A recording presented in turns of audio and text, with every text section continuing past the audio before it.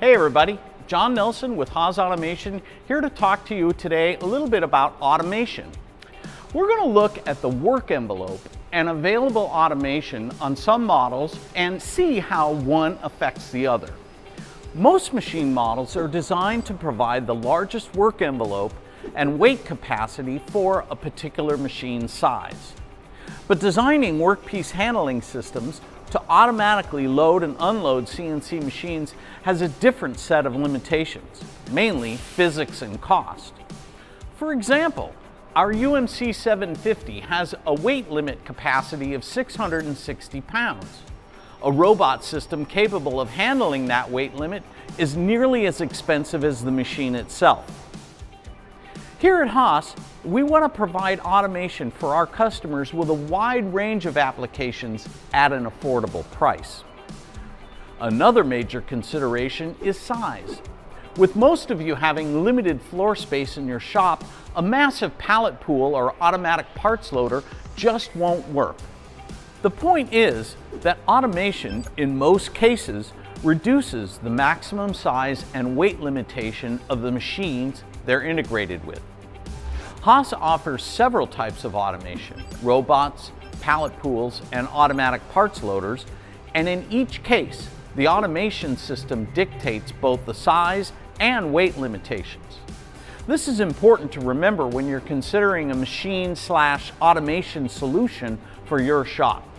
Instead of looking at the maximum part and weight in the machine specs, go to the specifications of the automation to see what the limits are. Here's an example. Let's look at the pallet pool for a UMC 750. The machine itself has a 27 inch diameter by 23 inch high work envelope. But when you add our 10 station pallet pool, now you're limited to a 16 inch diameter by 21 inch tall work envelope. As you can see, the size of this pallet pool is reasonable given the added 10 stations you get but we had to reduce the space between pallets to fit them all in the pool.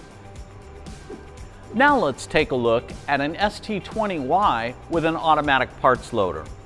This machine can handle a part diameter of 11.75 inches and as long as 22 inches.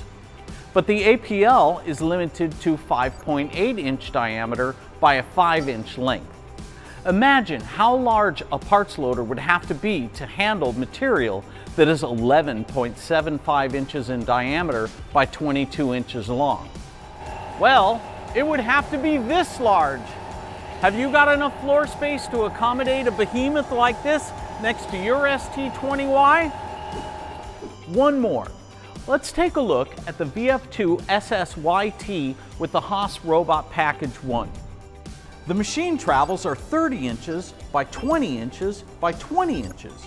You can get a pretty large part onto that table and still have enough Z-axis travel for your tools and work holding. Our robot package with the 15 pound weight capacity takes up no more space in front of the machine than a typical workbench or toolbox would. But to be able to handle a workpiece as large as the machine table the robot would be massive and take up a ton of space in front of your machine. Bottom line, most shops know that automation is the future. Make sure you're informed and aware of all the relevant specifications before making that final choice. Thanks for watching and we'll see you next time.